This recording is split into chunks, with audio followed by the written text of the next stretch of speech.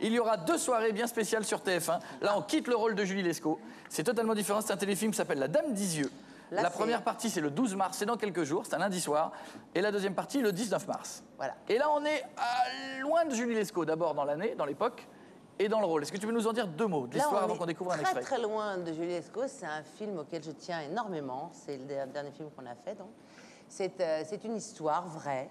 C'est l'histoire de Sabine Slatin, une femme euh, euh, juive qui, euh, qui, pendant la dernière guerre, a sorti énormément d'enfants des camps et a participé au, pro- au procès Barbie euh, parce que euh, il y a eu un moment dans cette fameuse maison qu'on appelle la maison, la maison euh, près de Le Lin, où ils s'étaient réfugiés, où elle avait fini par trouver un refuge, où ils ont vécu un an. Et ben, ils ont profité d'un moment où elle n'était pas là. Et ils sont venus, ils ont emmené les 44 enfants qui restaient, parce qu'il y en a eu beaucoup plus. Elle en a quand même sauvé 250.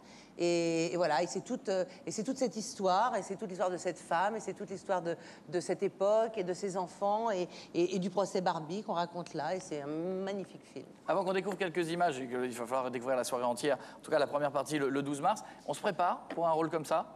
On, on- on se prépare, on se prépare parce qu'on se documente, parce qu'on joue une personne, euh, une personne euh, qui a existé. On essaye de, euh, on, on la romance un peu parce qu'on, des fois, comme, pour beaucoup, on, on met dans, dans sa bouche des paroles qui ont peut-être été dites par d'autres, mais enfin, on essaye de, de garder quand même une sorte de, pour être, pour être plus proche du personnage aussi. Et donc, on se documente beaucoup. on- Tu as rencontré C'est un long travail, ça a duré deux ans. Hein Tu as eu l'occasion de rencontrer la famille de cette femme ou pas du tout? Non, non, il y a pas de, elle n'a pas de famille, cette femme. de famille. Elle venait de Pologne, euh, elle s'est mariée avec, un, avec Miron, qui était son mari et qui était avec elle d'ailleurs, euh, et qui est joué par euh, Vincent Winterhalter. Et puis ils ont été, quoi, bon, et puis ils ont été emmenés comme ça au travers de la France avec les enfants pour atterrir dans cette maison près de la Suisse. Et malheureusement, ils n'ont pas pu sauver tout le monde, mais, mais, mais au procès Barbie, quand même, ils ont réussi à faire que ces enfants figurent et, et qu'ils aient une sépulture, parce que pour personne, ils avaient existé, ces enfants. Ça fait partie de notre C'est une histoire. magnifique histoire. Ça fait partie de notre histoire. Euh, c'est déjà passé en Belgique et en Suisse. Je sais que ça a eu un très gros succès. Et d'ailleurs, euh, Vanessa qui est avec moi m'a dit que euh, il est passé dans les écoles en Belgique euh, aux enfants. Et je trouve que c'est un film à regarder avec ses enfants et, et qui peut permettre à, euh, qui peut permettre de- d'entamer une sorte de discussion sur cette époque. Et, et on peut montrer comment tout à coup les choses peuvent s'arrêter tout simplement parce qu'on fait partie d'une ethnie ou d'une religion différente et que quelqu'un a décidé que vous n'étiez pas bien, quoi.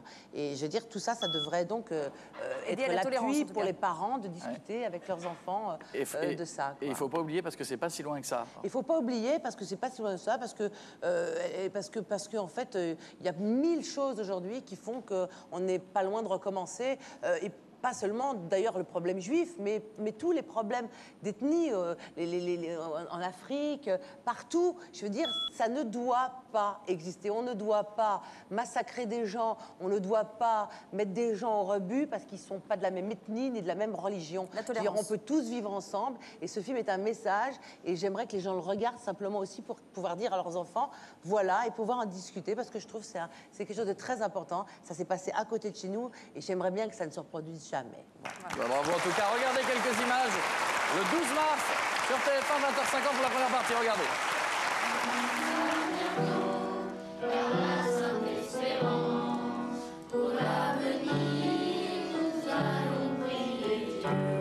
Joyeux Noël à tous.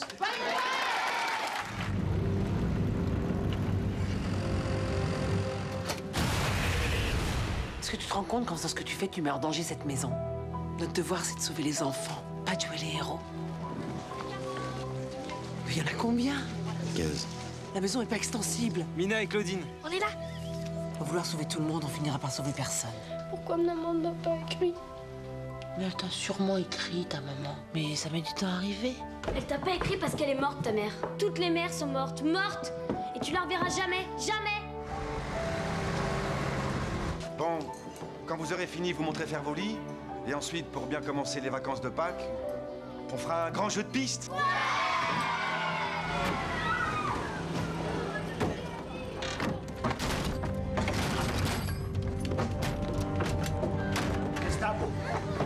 Silence, on ne bouge plus. C'est lui C'est lui qui nous a dénoncés Mais vous êtes des monstres. Ce ne sont que des enfants Bravo.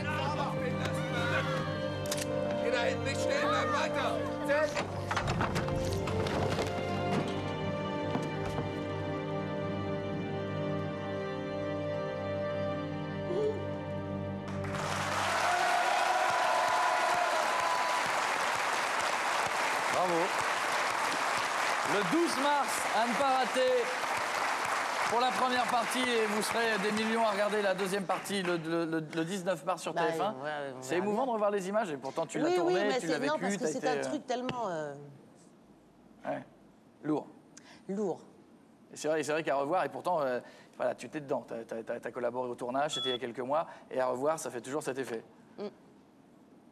Eh ben, en, a- en attendant, ce sera, ce, sera le, ce sera le 12 mars. Il y a Sam qui est dedans, Oui. qui a 10 ans, c'est ton fils. Oui, puis c'est pour ça aussi, parce que les enfants étaient tellement investis, moi j'ai beaucoup de mal à en sortir en fait. Oui, ça se voit, t'es tout ému. Bah oui. Tu vas pas pleurer la première fois que tu viens me voir, quand même. Non. C'est l'émotion. la première fois. Il a voulu tourner avec Sam quand, il- quand tu lui as dit que tu allais tourner avec lui. Il a dit quoi? Il a dit oui tout de suite Au début, il a dit veut- non. non, non, il veut pas. Non, il voulait pas. Non, non, il voulait pas. Il voulait pas. Sam, il voulait pas. Il voulait, il voulait pas. Il a jamais voulu. Son père voulait. Et puis, euh, et puis en fait, le petit garçon qu'on a choisi, Maxence, qui devait jouer Richard Benguigui, donc, il lui ressemble tellement que quand moi j'ai vu le casting et j'ai regardé comme ça le rôle du petit, j'ai dit mais c'est pas possible. On dirait Sam en petit. Ils ont le même âge, mais Sam est très très grande Ouais. taille. Et Sam, il voulait pas jouer un petit. Ça, ça, ça, ça, veut pas.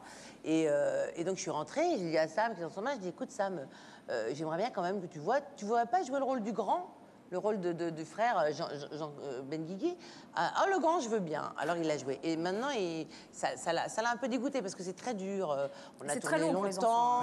c'est pas- très ouais. dur à tourner. On a eu, on a eu extrêmement chaud. On tournait en Prague, costume d'hiver, euh, avec des pulls qui grattent. Les enfants ont étouffé. Pourtant, ils tournaient que 4 heures par jour parce qu'un enfant tourne beaucoup Ouais. moins qu'un adulte.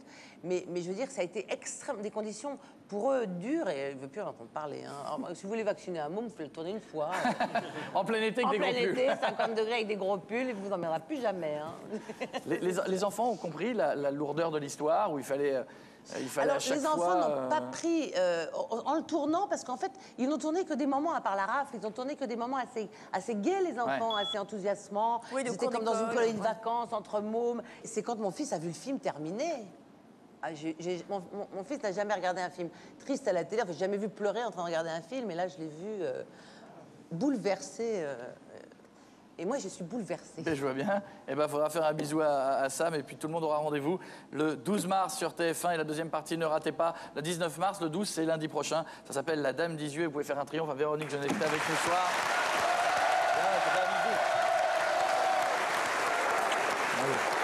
Te